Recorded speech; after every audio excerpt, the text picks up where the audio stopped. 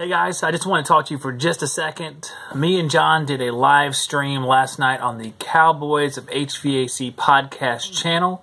Uh, first things first, I would encourage you and ask you to go over there and take a look at that channel and subscribe if you are so inclined. And secondly, if that doesn't work, we are giving away a bunch of cool stuff. So go over there and take a look at that. We're actually giving away three different tool bags. So go over there and take a listen to our latest video, which was a live event we did last night and see if you want to join up and take a look at the podcast too.